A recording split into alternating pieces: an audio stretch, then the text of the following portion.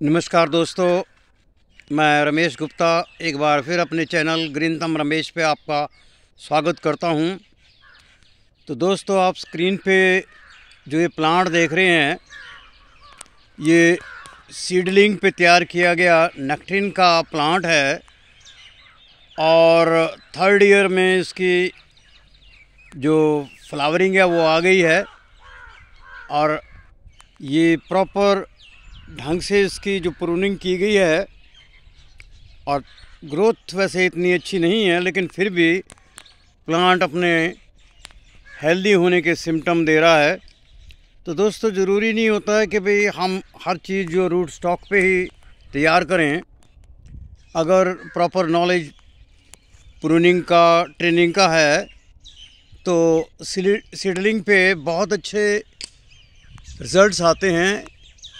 ये सदियों से होता आया है और हाई प्लांटेशन में भी इसके रिज़ल्ट्स अच्छे हैं। और ये जो है बहमी के ऊपर जो एक जंगली आड़ू होता है, ये ग्राफ्ट किया गया प्लांट है और बहुत अच्छी किस्म का नेक्ट्रिन का ये प्लांट है।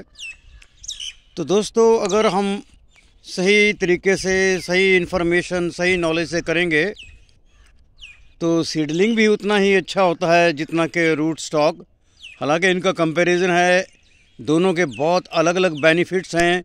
दोनों अपनी जगह बहुत सूटेबल हैं, चाहे वो रूट स्टॉक हो, चाहे सीडलिंग हो। कई जगह रूट स्टॉक ही बहुत प्रेफर किया जाता है, उसके रिज़ल्ट और ढंग के आते हैं। और कई जगह सीडलिंग ही प्रेफर किया जाता है, उसके भी रिज़ल्ट बहुत अच्छे आते हैं। तो मेरा पर्पज़ ये था कि आपको ये दिखाना कि ज़रूरी नहीं कि अगर हमारे पास रूट स्टॉक नहीं है तो हम सीडिंग, सीडलिंग को क्यों यूज़ करें? हम दोनों को यूज़ कर सकते हैं और दोनों के मन चाहे रिज़ल्ट ले सकते हैं।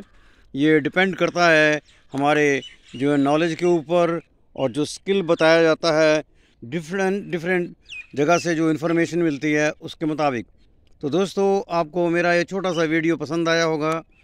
मेरे चैनल को सब्सक्राइब कीजिए, बेल आइकॉन का बटन दबाइए और मेरे वीडियो को ज़्यादा ज़्यादा शेयर कीजिए। लाइक का बटन भी दबाइए। क्योंकि लाइक का बटन दबने से ही यूट्यूब जो है वीडियो को सर्च में डालता है अदरवाइज़ वो सर्च में नहीं डालता है।